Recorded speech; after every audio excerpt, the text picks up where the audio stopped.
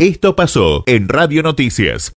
Bien, la organización es un, grupo de profesionales, se llama Neurocosta, que es un centro de evaluación, diagnóstico y tratamiento eh, neuropsicológico, donde, eh, bueno, hay distintas especialidades, eh, todas con una perspectiva de salud mental. En este caso, estamos trabajando sobre un tema que es bastante, bastante vulnerable, para lo que es la sociedad, que es el tema del suicidio. Y bueno, nos, nos estamos especializando en, precisamente en este tema con un enfoque hacia nuestra comunidad, por supuesto, la de la costa. Bien, Ariel, te quisiera preguntar eh, en particular, ¿no? Eh, cuando empiezan a trabajar la temática en el Partido de la Costa, eh, por supuesto que tiene raíz en una preocupación inicial que tiene que ver con la cantidad de casos. Hace años que escuchamos hablar ¿no? de, de este tema tan delicado y que en la costa realmente hay un montón de casos. Pero cuando uno no precisa, cuando uno dice un montón, la verdad que no sabemos qué es un montón en relación con una problemática, ¿no? Entonces, eh, ¿con qué se encontraron para empezar a abordar este tema y cuál creen ustedes que es el camino? Bueno, mira, en, principio acá, en, como todo método eh, eh, de investigación, tenés la, parte cualitativa y cuantitativa. Nosotros lo primero que hemos dejado de lado es el método cuantitativo porque más allá de, las cantidades que solo sirven para una, para una encuesta, eh, darle una perspectiva desde lo cualitativo, creo que es lo, emocional, lo, de una persona, o sea, cualquier familia que haya perdido un, familiar a través de, de, una situación de suicidio, lo que menos le va a importar es el número, ¿no es cierto? Entonces, es como que lo hemos dejado de lado porque, bueno, hay situaciones que también eh, hacen de que los números no sean tan precisos, porque eh, un caso de suicidio en, el departamento judicial tarda aproximadamente entre dos años en determinar el fiscal o el juez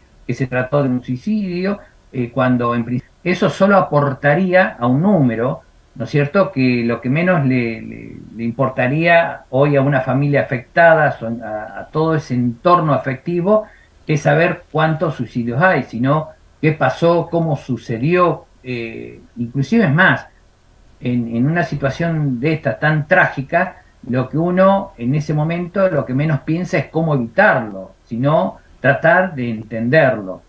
Y nosotros eh, estamos trabajando mucho con este tema. Agradezco al grupo que se haya predispuesto eh, trabajar de esta forma interdisciplinar, porque acá la, comunicación, no solamente en el suicidio, sino en muchas problemáticas sociales, es fundamental. Eh, en los casos particulares que están pasando en la costa, estamos viendo que no hay un abordaje de, eh, educación en las escuelas, por eso nos pusimos a trabajar, nos pusimos en contacto directamente con el distrito escolar para que nos den el permiso de manera oficial para poder ingresar a las escuelas y capacitar primero a los docentes y después a los alumnos. ¿Por qué a los docentes? Docentes y no docentes que están dentro de una escuela, que sabemos que son también los, los preceptores, los auxiliares, aquellos que también tienen un contacto directo con los alumnos y son los que en realidad conocen más la problemática, porque los ven todos los días, porque ven su cambio de cara, cambio de actitud. Entonces, todo hace a que ese tipo de cambios que a veces uno no lo percibe desde la casa, desde el hogar, llámese por trabajo y por todas las, las implicancias que tiene eh, el vivir solamente, hace que uno por ahí descuide este tipo de cosas y no pueda detectar rápidamente que se va a tratar o de una ideación suicida, de un intento de suicidio o un desenlace fatal. Bueno, eh, aquí hay cierta edad, ¿no? Donde evidentemente los chicos quieren llamar la atención. Ahora, cuando uno encara eh, el pensar esta problemática, lo hace desde la idea de una familia, entre comillas, estándar, ¿no? O normal. Quiero decir, la gente eh, cuando aborda esta problemática, fundamentalmente no se pone en la piel del otro.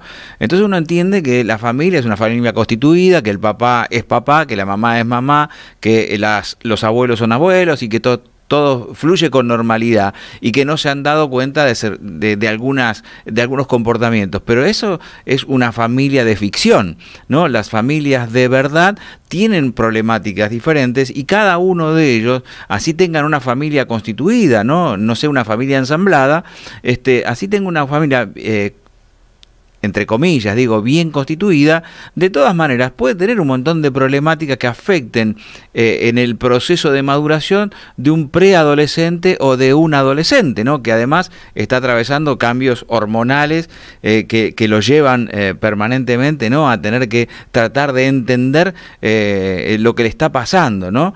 entonces, digo, es evitable, podemos trabajar mucho más en la toma de conciencia, pero ¿Es evitable eh, el suicidio? Eh, sí, sí. Más que evitable, es prevenible. Que, es, que son también otras situaciones.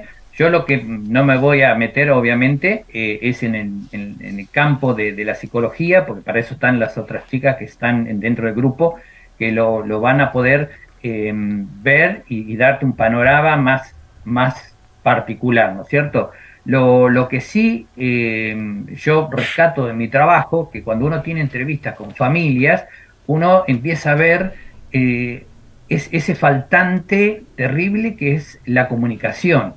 Y la comunicación tiene que ver no solo con los medios de comunicación o con los medios masivos, sino que eh, con las redes sociales, con, los blogs, con, con las páginas web, ¿no es cierto?, donde uno realmente ve un vacío de tratamiento de esta problemática del suicidio. Por eso, cuando uno empieza a investigar, empieza a meterse en el, tema del suicidio, se da cuenta que tiene un estigma, o sea, socialmente los hemos, lo hemos estigmatizado, entonces es muy difícil de abordarlo con mucha confianza, con mucha ligereza y mucho menos abordarlo para tratarlo al tema, que es lo que nos, nos está faltando. O sea, el tema del suicidio pasa por un, primero por enfrentar un dolor particular, pero hacia eso le sumamos el silencio, si le sumamos a que es un tema que cuando cada vez que hablamos del suicidio siempre se nos aparece la palabra muerte, cuando es totalmente al revés, totalmente al revés. Todos sabemos por una cuestión hasta filosófica que la muerte en cualquier momento nos va a llegar. Entonces preocupémonos por la vida, entonces no podemos tener en, una problemática una opción como salida de solución la muerte. Eso tiene que quedar bien claro y, que no, o sea, eh, permitámonos preguntarle hasta a un amigo, ¿vos pensaste en suicidarte? Te veo mal, ¿pensaste en suicidarte? Esto no incita al suicidio. Esto está comprobado que es un mito. Vos recién comentabas una, una palabra que, que era algo así como que eh, esto ya, eh, ya se sabe, que, va a ser así, entonces eh, uno empieza a, jugar con muchos mitos. Nosotros estamos dando unos talleres donde una de las preguntas con la que arrancamos es esta, a ver, ¿qué conoce la gente del suicidio? Y, y cuando empezás a hacer toda una lista, vos te das cuenta que son la mayoría, pero en un 90% siguen hablando de mitos. O sea, seguimos estigmatizándolo, seguimos apostando al silencio. Entonces, eh, yo leía el otro día una frase de, Buda que decía que el, el, dolor es inevitable y el sufrimiento es opcional. Fíjate que ante una situación de desenlace es inevitable que sientas dolor, pero si vos estabas atento a esa persona cuando estaba padeciendo un sufrimiento, es posible que esa persona más que nada necesite una contención, el hablar. Por eso uno tiene que estar muy atento con la escucha, no con el habla. A veces nosotros los convocamos a nuestros hijos eh, o, jóvenes y lo primero que tratamos de hacer es, es hablarle de nuestras experiencias, porque en mi época se hacía tal cosa, nunca los escuchamos. El problema es de ellos. Parece que nosotros seguimos culturalmente eh, transmitiendo nuestro pasado hacia un presente que hoy es totalmente diferente, estamos en otro contexto. Entonces, eh, si analizamos las situaciones en particular, vamos a ver, no quiero hablar de, ningún caso particular, pero si un joven se manifestó que se va a suicidar, hay que tener mucha atención. porque no solamente te está avisando, sino que él también se está avisando de este tema. Como ha aparecido caso donde dice, sí, hubo y lo intentó, pero si se quería suicidar no lo va a andar hablando, seguramente que no lo va a hacer.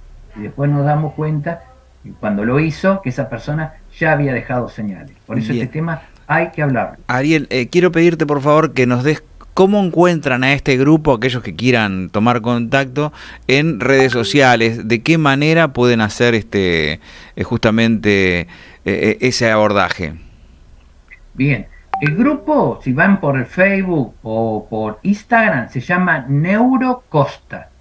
Neurocosta, sí, búsquenlo y tienen todos los canales de acceso para escribir. Cualquier duda, siempre nos vamos a tratar de poner en, contacto con, con las personas, con aquellos que dicen es difícil hablar con mi hijo. Bueno, eh, a ver, esto es algo que lo vamos a solucionar entre todos. Acá no, no, no se necesita ser un científico para abordar el tema. Ahora, una vez abordado, vamos a saber a dónde situarlo, a dónde llevarlo, quién, de, qué forma lo puede abordar de una manera especializada. Pero eh, por favor escriban, escriban a Neurocosta y ahí van a, van a encontrar hasta los mails, cualquier contacto que ustedes quieran, nosotros lo vamos a hacer. Somos Radio Noticias